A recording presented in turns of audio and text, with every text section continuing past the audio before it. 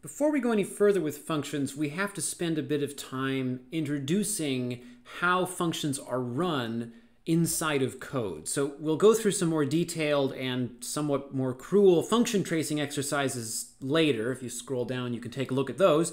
Uh, but at the very beginning, we have to talk about what it means to use a function, and we have to talk about what it means to create a function. So I've put on this, uh, I've put up here uh, on the screen uh, an example of a function that's defined, and it, it does. I mean, it's sort of useless. It doesn't do anything useful, but it does something just opaque enough. It's not obvious what it does that maybe it's a good example for tracing. And my goal is eventually, I just want to give the one line of output that's going to be produced by this printf statement. So we know that in any C program, um, when we begin, we start at the top of main. And maybe you noticed a quite a striking similarity between the function we saw in the previous video and this function and main itself. Main does look a lot like a function, and it turns out that it actually is. Main is a regular function with only one special privilege, which is that it is the very first function called when any C program starts, but it is actually just a regular function in every other sense. So up here I have a function, I've called it my function. And we should begin taking a look. Uh, if you scroll down on the page you're watching this, you'll see in the notes uh, it talks in great detail about a function body and a function signature. This whole thing is a function definition. And the definition of the function my function has this signature. So uh, the signature can be broken up into three parts. And the parts are, the very first thing, sort of confusingly, is the return type and that is what kind of thing will the function be sending back? And we'll see that you can have a function that sends back a value in any type you want.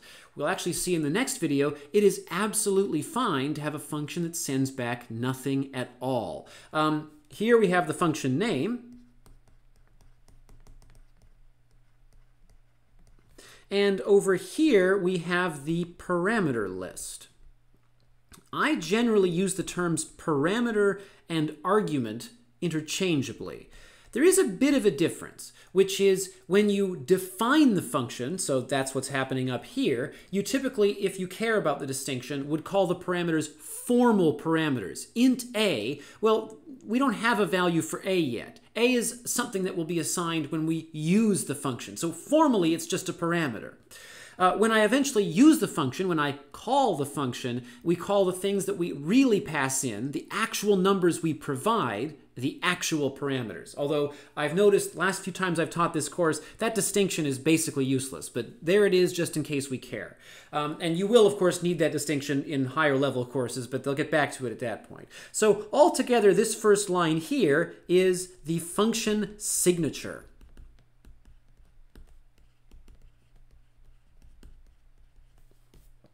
And it's supposed to provide everything from a programming standpoint that is needed to use the function. It might not provide enough information to programmers uh, about what the function is meant to do, but it should provide enough information, for example, to the compiler that when you use the function, it understands what the function means. For example, if I want to call this function, I need to provide one parameter, and that'll be what ends up being called a. And the function will be called my function, and it will send back an int value. Okay, so that's one thing. And that entire segment at the top, let's just back this whole thing up. That entire segment at the top is the function definition. Now we'll see later that there's also something called a function declaration, which is similar and also involves the function signature, but we'll just, we'll leave it for now. We'll start slow. So this uh, allows the program, after I define the function, anywhere below this in my code, I can use the function. We call that a call. So this thing over here is a function call. Actually, I'm to, there's probably, there's more than one of them. So um, let's see, this and this are both examples of function calls and they are uses of a function. And the point of this video really is actually to explain when the code is running, how do we handle this? What does it mean to use a function in the context of, let's say, an arithmetic expression? And we can see we have a couple here. The, the expressions I'm using for y and z uh, involve calls to these, um, these functions. Let's just get rid of that. Whoops, I guess I didn't get rid of all of it. Um, So let's trace this code and let's get the output. Okay, so I'm going to begin at the start of main. Now, what we're going to notice is that we jump around between different scopes because maybe it's maybe you've noticed that main has these curly brackets and there they are. That's the scope of main. But if ever I need to use my function, I end up up here outside of the code for main, and that's very significant. And that's why we talked about scope at the end of last week. So let's begin our trace. I'm going to begin my trace by drawing my scoping diagram. I'm going to draw a nice big box for main, although I don't need as big of a box as I might usually need because um, I noticed there are no other scopes. I have no while loops or anything. Okay, so then I get to, I should really number these lines. I get to this line here, and uh, we've got a variable called x, and it's an int, and its value is 10. Okay, so all good so far. Um, okay, then the next line int y. So I'm going to make a variable called y, but then I have an assignment statement. And we know already that to evaluate this assignment statement, what I should do is ignore the entire left-hand side and just uh, hack away at the right-hand side. So what do I want to do? I want to call my function. Before I can call my function, I have to have the value that I'm going to pass in. And I don't have that yet because there's still this, this unknown. So x minus 5. Well, I have to work that out. So x minus 5, let's see. Uh, x has the value 10. If I subtract 5 from that, that ends up just equaling 5. Okay, so I'm calling my function and I'm giving it the value 5. When you call a function, the value you pass in in the brackets, they get matched up with the values of each, with the uh, names of each parameter. In this case, there's only one parameter, so we sort of know that the 5 is going to end up becoming the parameter a. But how do we trace it? Okay, so here's what happens. I'm going to just um, back up some of my diagram here. We know that we're calling it with the value 5.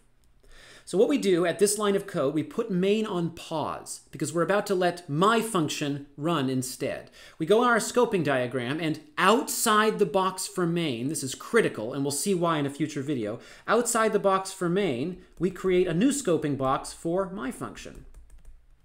There it is and we draw a big box for it. And one thing you should observe is the reason we draw the box outside the box for main is that the curly brackets for this scope are actually outside of main. They, they aren't inside the curly brackets for main. So by the rules of scope, this scope isn't inside the scope for main.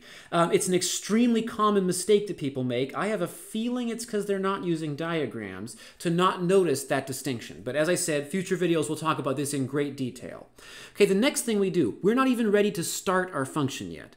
We've drawn a box for it. The next thing we do before we start the code for the function is we add to our diagram for the function's scope a box for every one of its parameters. And what you'll notice is the box that I draw is exactly the same as a local variable for that function. And that's significant. It turns out that once the function starts, int a will behave exactly like any other variable. The only thing special about int a is that it was a parameter, which means it'll get a value when the function function starts. Okay, so I've drawn out the parameter, and now I pass in the value 5. So when the function begins, a already has the value 5.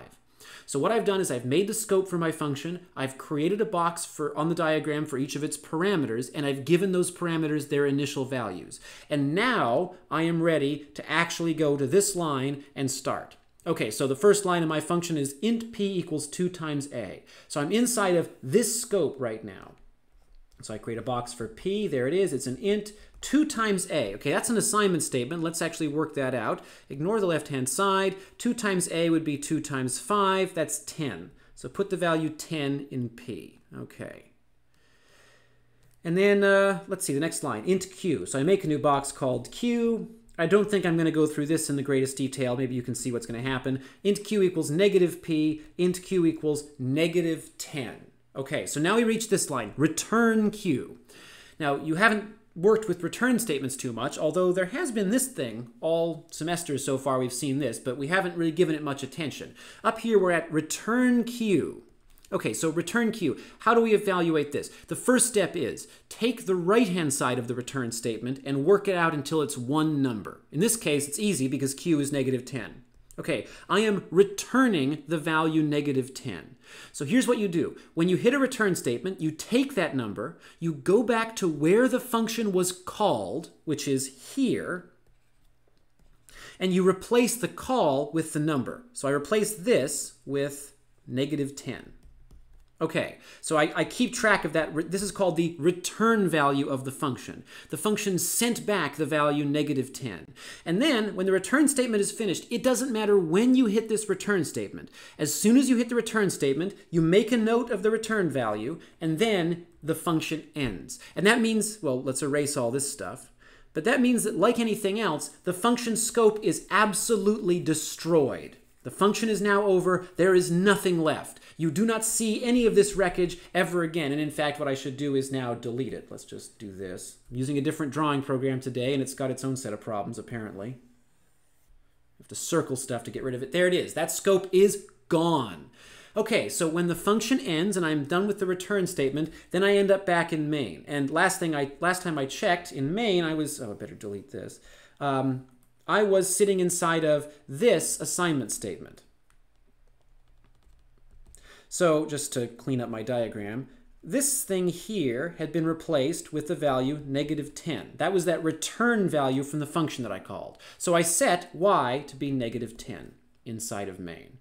Okay, so that's the end of that line of main. I'll do one of these weird circle things again. Uh, okay, so I get to line, I get to this line here. So it's an assignment statement, and so I ignore this, and I try to evaluate the assignment statement. Okay, so it's going to be 2 plus 3 times this thing. Okay, so I guess I have to evaluate what's inside the brackets first. So I take x minus 7. So in main, the value of x is 10, so 10 minus 7 is 3. Now I'm going to call my function with the argument 3. Okay, so I go over here, I draw a new scoping box. I call it my function. There it is. And I create a variable on inside the scope for each of the parameters of my function. So int a, I assign the first parameter is a and it gets the value 3. Okay, good. And now that I've set up the box, I have the scope, I have all the parameters, now I am ready to start executing the function. Okay, so int p, I create a variable called p, there it is, equals 2 times a. So 2 times a would be 6, it's an int.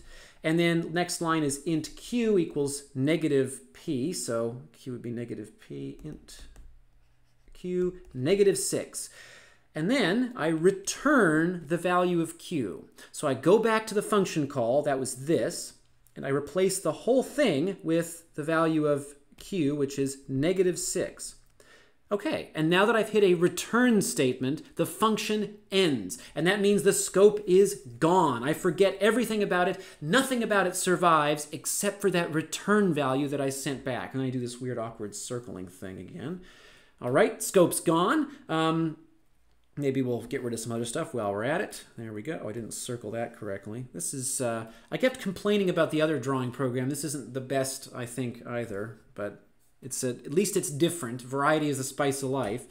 Okay, so now I'm I've done finished calling the function. I've got negative 6, and now I just keep working out the assignment statement. Okay, so negative 6 plus 1, that would be, this whole thing comes out to negative 5. Okay, so 3 times negative 5 would be negative 15. Okay, so I just cross this whole thing out, so it's 2 plus negative 15. Okay, 2 plus negative 15 would be negative 13. So over here in main in my diagram, z has the value, uh, whoops, negative 13. And then I get down to this print statement, and the output is x is, and notice that there were a lot of variables flying around in my program, but now that I'm at the end, it's pretty obvious what x is. In this scope, x is 10, y is negative 10, and z is negative 13.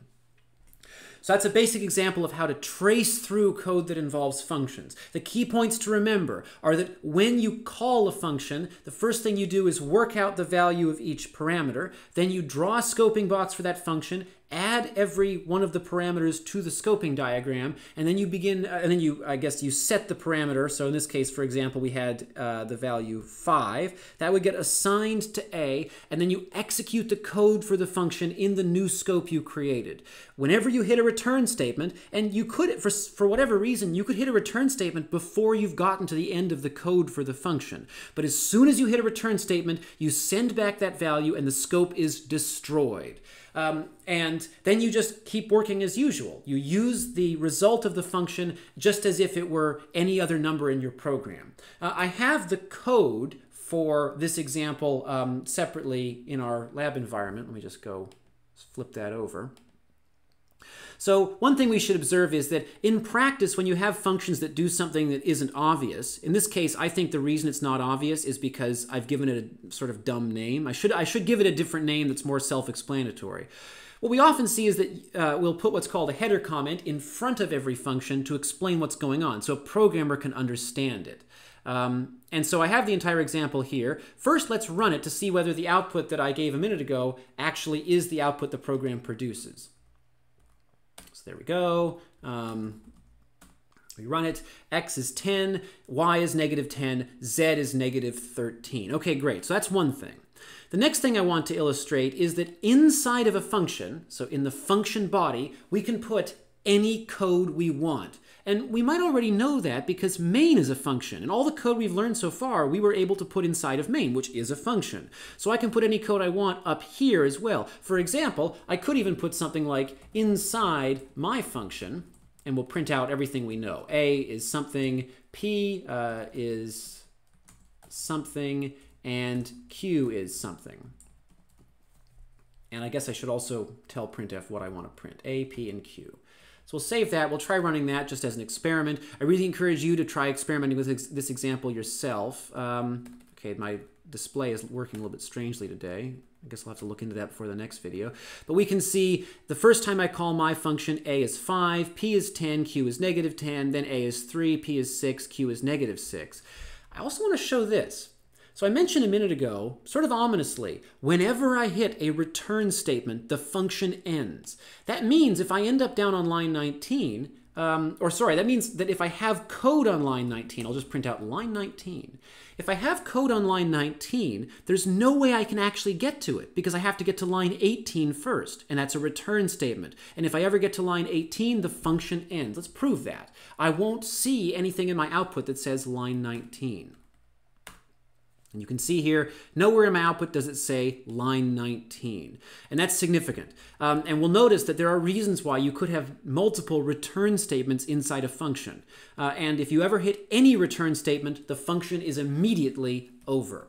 And one final point is that what I put on the right-hand side of my return statement can be any expression. It does not actually have to be um, just one variable. And so what you might observe is what's actually happening in this function is you give me a value a, and what's actually being returned is negative 2 times a. So it would be perfectly valid to just write return and I mean, this would actually be the logical thing to do, frankly, because the extra variables don't really help anything. It would be perfectly valid to return negative 2 times a in one fell swoop. And you can see I still get the same output. Now, what I should caution people about here is that doesn't mean you need to try and torture yourself to make each function one line long. It is absolutely fine to write a function that has 10 lines and creates extra variables. A lot of people get superstitious and say, oh, isn't the extra variable going to make things slower? Don't worry about that. It's likely not going to happen, for one thing, but it's important that we save human time. If it takes you less time to understand the code with extra variables, use extra variables. Even if it did slow the computer down to use extra variables, human time is worth more than computer time. So we've seen the basics of how to trace functions, and don't worry if you're still shaky on the specifics. We'll see lots of more detailed examples of that. My hope was that this example was enough to understand when we call a function, how does the code jump around? When we call this function, we go up here, we run everything inside, and then we come back. And what ends up coming out of this, so the number I end up using here, is just whatever the function returned. Now that we've seen that, we can do a few more exercises involving writing functions and that big, and the M word, modularity, and then we can come back and trace through some more complicated things.